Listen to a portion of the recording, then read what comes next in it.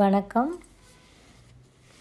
நம்ம இன்றைக்கி பார்க்க போகிற டாபிக் என்னன்னு பார்த்தா நிறைய பேருக்கு வந்து நம்மளுக்கு வந்து மோர் குடித்தா தலை பாரமாயிடும். தலை வந்து கீழேயே குனிய முடியாது. அந்த அளவுக்கு பாரமாயிடும் இவங்களுக்கு சிலருக்கு. அதே மாதிரி வந்து நீர் கோவை நீர் கோத்துக்கும். தலையில் பார்த்திங்கன்னா நீர் கோத்துக்கும். இப்போ எப்படின்னு பார்த்தீங்கன்னா தலை குளிப்பாங்க. தலை குளித்தா பழைய காலத்துலலாம் என்னென்னா சாம்பிராணி போடுவாங்க. கண்டிப்பாக சாம்பிராணி போடும்போது இந்த நீர்க்கோவை வந்து இருக்காது. ஸோ ஆனால் இன்னைக்கு காலகட்டத்தில் வந்து யாரும் சாம்பிராணி போடுறது இந்த மாதிரி விஷயங்களே இல்லை. அதனால் என்ன பண்ணுதுன்னா சிலருக்கெல்லாம் வந்து பார்த்திங்க அப்படின்னா நீர் கோத்துக்குது தலையில். மண்டையில் வந்து நீர் கோத்துக்கும் அப்படின்னு சொல்லுவாங்க. இதுக்கு நீர்க்கோவை மாத்திரைன்னே விற்கிறாங்க அதை போட்டு ஆவி பிடிப்பாங்க. அது எந்த மாதிரிலாம் நம்மளுக்கு ப்ராப்ளத்தை கொடுக்கும் அப்படின்னு பார்த்திங்கன்னா எதுவுமே கான்சென்ட்ரேட் பண்ண முடியாது நம்மளால் எந்த விஷயத்தையுமே கான்சென்ட்ரேட் பண்ண முடியாது. அப்படியே ஃபுல்லாக மண்டை ஃபுல்லாக ஏதோ வந்து ரெண்டு மண்டை மூணு மண்டை இருக்கிற அளவுக்கு வந்து கனமாயிடும் வெயிட்டாக இருக்கும். அப்புறம் பார்த்தீங்க அப்படின்னா வச்சு கீழே குனிய கூட முடியாது. அப்படியே மண்டை வந்து ரெண்டாக ஒடிஞ்சிரும் போல் வலிக்கும் நம்மளுக்கு. அதே மாதிரி கன்னத்தில். அந்த கண் தலையில் வலிக்கிற வலி என்ன பண்ணும் அப்படின்னா கண்ணெல்லாம் சுற்றி வலிக்கும். கண்ணை சுற்றி வலிக்கும். அப்படியே கழுத்து நரம்பெல்லாம் இழுக்கும். தலையை வந்து நம்ம ஸ்ட்ரெயிட்டாக வச்சு உட்காரவே முடியாது.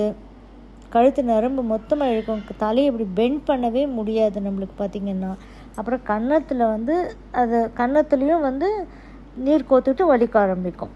ஃபுல்லாக தட் இஸ் என்னன்னு பார்த்தீங்கன்னா தலை மண்டை தான். ஆனால் வந்து ஃபேஸ் மொத்தமாக அந்த மேல் பாகம் மொத்தமாக தலை மொத்தம். தலை அப்படின்னோன்னா நம்ம வந்து கண் காது மூக்கு எல்லாமே அப்படியே வந்து அ- அந்த அளவுக்கு வந்து வலிக்க ஆரம்பிக்கும். தலைவலி பார்த்திங்கன்னா மண்டையை ரெண்டாக பொழக்கிற அளவுக்கு தலைவலி வலிக்கும். இது ஏன் வலிக்குதுன்னு கூட தெரியாது.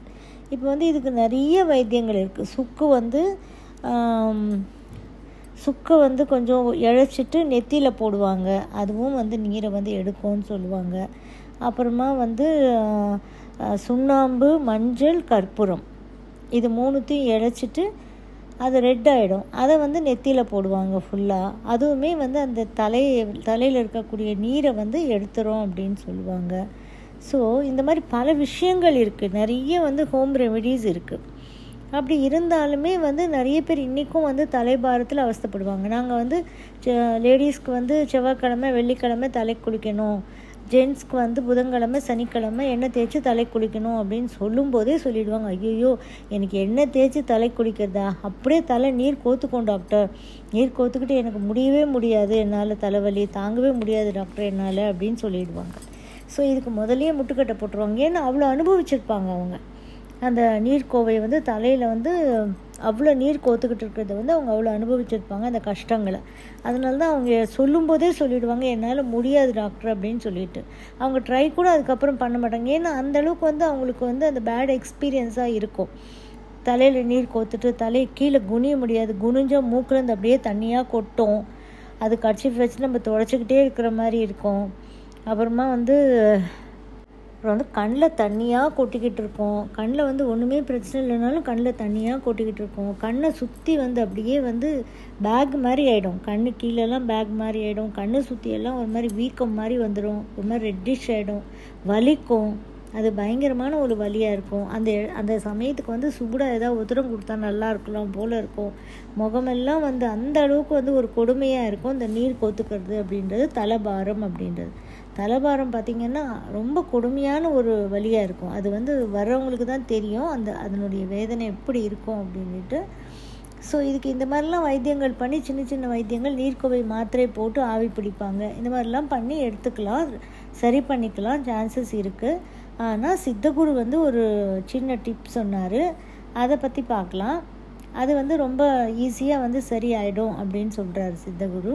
இது வந்து எங்களோட குரூப்பில் வந்து நிறைய பேர் யூஸ் பண்ணி பார்த்து சரியானவங்களும் இருக்காங்க இதெல்லாம். ஸோ என்ன பண்ணணும்னு பார்த்தீங்கன்னா தும்பை இலை. தும்பை இலை வந்து நான் இங்கே பிக்சரில் கொடுக்குறோம் பார்த்துக்கோங்க. அது பூ கூட ஒயிட் கலரில் இருக்கும். அதில் தேன் இருக்கும். அந்த நுனியில் தேன் நல்லா இருக்கும் அந்த பூ கூட. ஸோ இது வந்து தும்பை இலையை எடுத்துக்கணும். தும்பை இலையை மட்டும் எடுத்துக்கிட்டு அதில் வந்து ஒரே ஒரு கல் உப்பு. கல் உப்பு இருக்கு இல்லையா? கடல் உப்பு. அந்த உப்பு வந்து ஒரே ஒரு கல் வச்சு நல்லா வந்து கையால் நசுக்கணும். நல்லா அந்த இலையையும் அந்த ஒரு கல் கல்லுப்பையும் வச்சு நல்லா நசுக்கிட்டு இதை வந்து என்ன பண்ணணும்னா படுத்துக்கிட்டு யாருக்கு வந்து தலைபாரம் நீர்க்கோவை இந்த மாதிரி இருக்கோ அவங்களுக்கு வந்து படுக்க வச்சுட்டு அவங்க அவங்களுடைய மூக்கில் ரெண்டு மூக்குலேயும் ஒரு ஒரு ட்ராப்பு படுக்க வச்சுட்டு ஒரு ரெண்டு மூக்குலேயும் ஒரு ஒரு ட்ராப்பு விட்டீங்க அப்படின்னா ஆட்டோமேட்டிக்காக இந்த தலைபாரம் நீர்க்கோவைன்றது வந்து குறைய ஆரம்பிச்சிடும். பர்மனண்ட்டாகவே ரெமெடி வரும். இது அப்பப்போ அப்பப்போ பண்ணிக்கிறது கிடையாது. இதை நம்ம இருக்கும்போதெல்லாம் பண்ண பண்ண பண்ண ஆட்டோ டெய்லி பண்ணணும்னு அவசியம் கிடையாது இது. அதில் வந்து நிறைய சேஞ்சஸ் வந்துடும் இந்த நீர்க்கோவை குறைஞ்சிரும் தலைபாரம் குறைஞ்சிரும். இது எந்த நாளில் பண்ணணும்னா செவ்வாய்க்கிழமை சனிக்கிழமை. டியூஸ்டே அண்ட் சாட்டர்டே மட்டும்தான் செய்யணும். மற்ற எந்த நாளில் பார்த்தாலும் செய்யக்கூடாது. நம்மளுக்கு மற்ற நாளில் வந்திருந்தாலும் கொஞ்சம் நம்ம வந்து இந்த இந்த மெத்தடாலஜி பண்ணாதீங்க. வேறு அதர் மெத்தடாலஜிஸ்லாம் இப்போ சொன்னேன் இல்லையா? அதில் ஏதாவது பண்ணிக்கிட்டு நீங்கள் சரி பண்ணிக்கோங்க.